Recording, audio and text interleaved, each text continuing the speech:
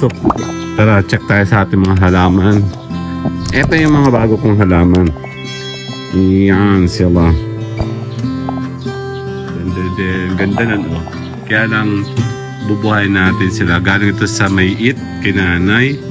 Ito bigay naman ni nanay sa may karinderya.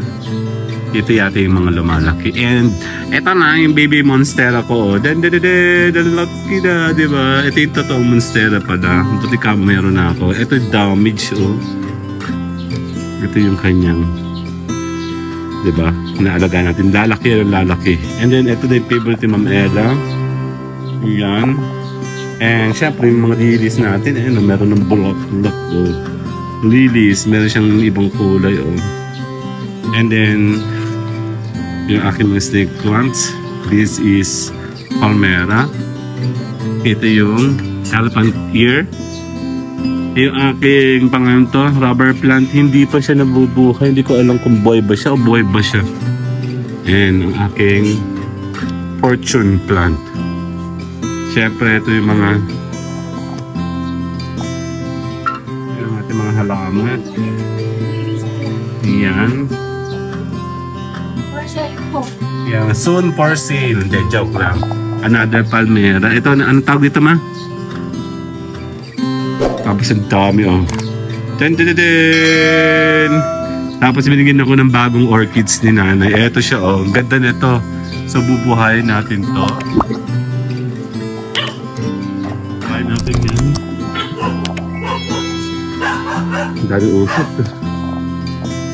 And then, ito yung new batch ng totoong fern. Ayan na. Nakakuha na tayo ng totoong fern. Kasi ito, yung batch na ito medyo mamamatay na. Oh. Ganda ng jeans yan. Oh. Ito sila. Dami. Bagong polka dots. Team, ito yung mga binubuhay kong mga And then, then. Marami akong ganito. Tapos lilies, buhay rin. Photons. And then, ito yung purple. Ito yung bigay kahapon. Oh. And this one, buhay na din siya. And parang pine tree to. Oh.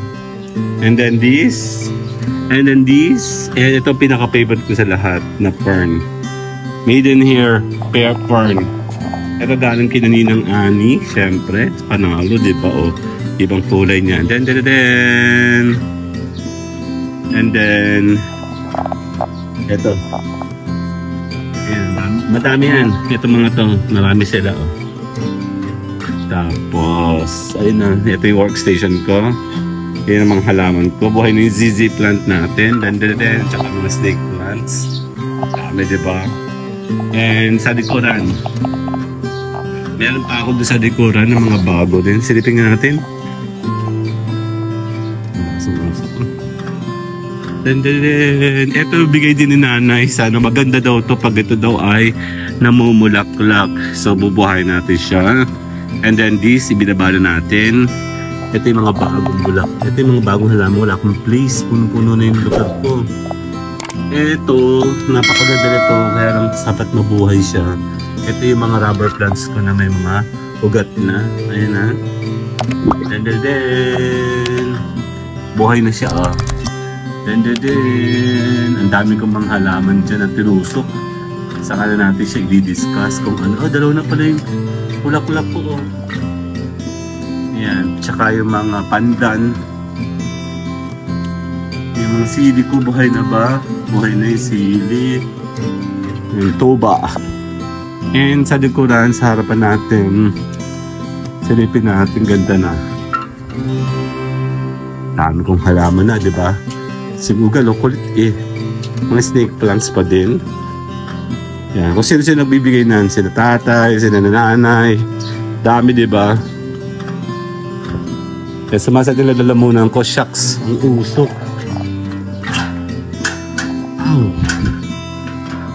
Dandadan! Hindi siya masayang paping panoorin sa umaga. Ayan o.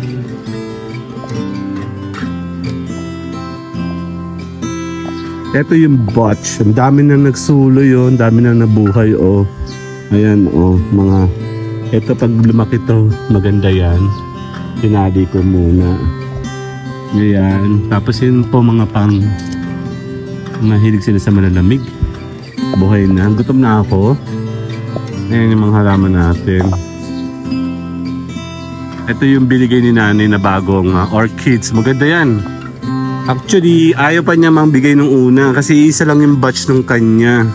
Kaya sabi ko sa kanya baka meron siya. Ayun na. Buhay na buhay na to kasi mahilig siya sa malamig, sa ma magbabawasan ng akunan. Ito yung isa sa pinaka-favorite namin. Maganda oh. Tapos buhay na rin rubber plants dito. Galing lahat halos yan sa kung saan saan. Kung sino sino nagbibigay sa amin. Ito yung mga pinagsama-sama ko malalita orchids. Mabilis sila mamulaklak. Ganda yan. And yung sahod yaman ko, oh, di ba orchids naninilaw oh. Weird kasi pag nagtag galing sila sa tag-init.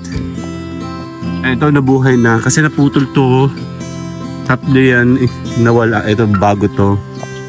Ayan, may mga suloy na yung iba dyan. Suloy means may bago nang lumalabas. You know, suloy. Pati sa likuran meron din. And ang daming suloy doon, oh. Yan, pag ito po yung lumago, itong bagong suloy po ito, oh. Masaya yan, di ba? Naglagay na ako ng sili doon kasi kailangan namin ng maraming sili. And syempre ang aking oliba, yes, buhay na siya, oh. May bago na siyang branch. Yep. And sinubukan ko magtanim dyan. It's not, hindi siya nag-work. Uulit tayo magtusok. And nagtusok ako doon ng pang ano to? Ha? Hindi ko alam kung ano yan. Ano to? Damo? Parang hindi. Ayan na. Ang ating updates sa ating halaman. Problema yan pag nagsilakihan na hindi natin alam kung saan natin ilalagay. So, ayun na. See you guys later sa LS. Dun, dun, dun.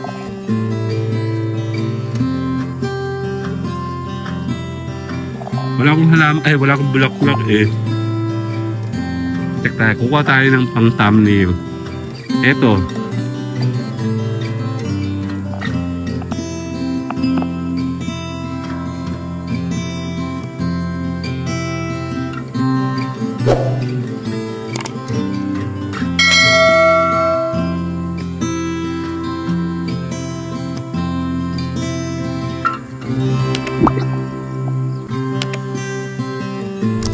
拜拜。